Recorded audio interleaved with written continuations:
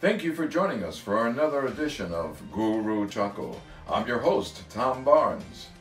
This channel will provide you with real answers to questions about relationships, marriage, dating, or just wanting to be alone. I want to thank many of our fans for providing Guru with your questions. The great Guru Acharu is in deep meditation right now. But before we disturb him, I want to ask our audience to please send in your questions in the comments section below. And if you like the video, give it a thumbs up. And consider subscribing. Thanks. And now it's time to introduce the one, the only, Guru Acharu. Good morning. Good morning, Guru. Good morning. I, oh, Tom, I was in deep meditation. Hello, all my friends in YouTube land. How are you today? I am fine. Ah, it's great to meditate. Yes, Guru. We are all here waiting for you to answer some more of your viewers' questions. Oh, yes, of course. To be sure. Uh, let's see what we have today. Our first letter is from Maria. She is from Madrid, Spain.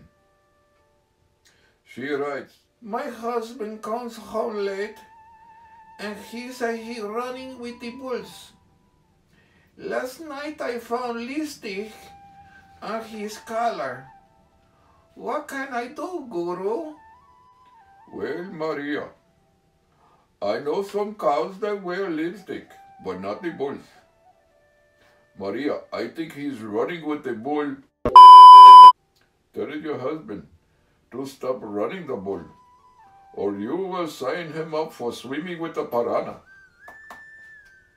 or something like that. Okay, Tom, what is next? Guru, you have one more letter. Yes, one more letter. Hello, Guru. My name is Bridget, and I live in the Upper East Side of Manhattan. And I have a boyfriend who has to go into the next room to speak with his mother on his cell phone. It's nice that he takes time out to speak with mommy, but I'm starting to get suspicious. Can you help me? Are you kidding me? Bridget, maybe you have to leave the room to speak with your daddy. Like my mother used to say,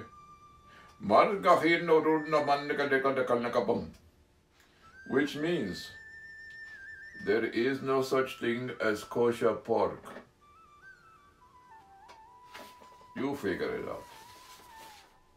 Well, that's all the time we have for today. Please join us for another episode of Guru Chuckle. Bye for now. Okay, we are done so soon. Okay, bye bye, my friends. You know, Tom, I thought I ate kosher pork once. No, that was turkey bacon. Not the same. Never mind.